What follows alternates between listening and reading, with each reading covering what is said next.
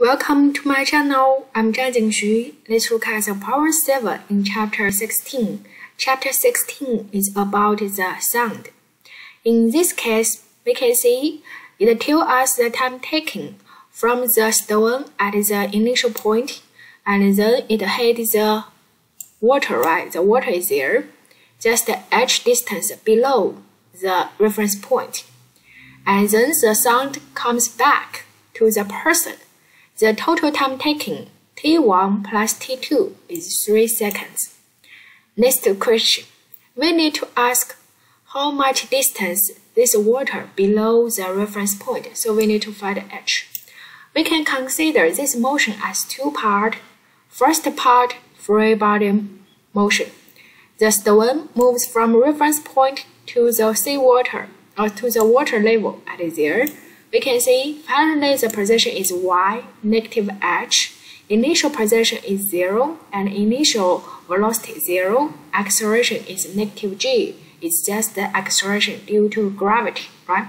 So we can write a function look like this one, and input y as negative h, this part is 0, and v naught 0. Acceleration is negative g, so in this case we get the t1. And for T2, we can see uh, we know the sound waves travels from the sea, from the water level to the reference point. The total distance is h, and the speed is given right for the sound wave 343 meter per second, and T2 is there. And T2 we can get in this function, and we also know the T2 plus T1 just 3 seconds, so we get the function. Now the next question, we need to find the h in this function. It looks a little bit difficult, but we can work on it together. As you can see, we can move the, this term this term to the right hand side and do the square at both sides. And then it can be uh, right in this function, right? Just uh, open this bracket. And then this function can be right in this format.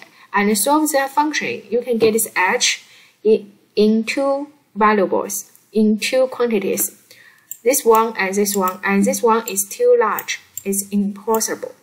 Why? Because if you put this H inside, you will find the T1 is much, much larger than 3 seconds. So this is impossible. So we just take the value 41 meter. Thank you.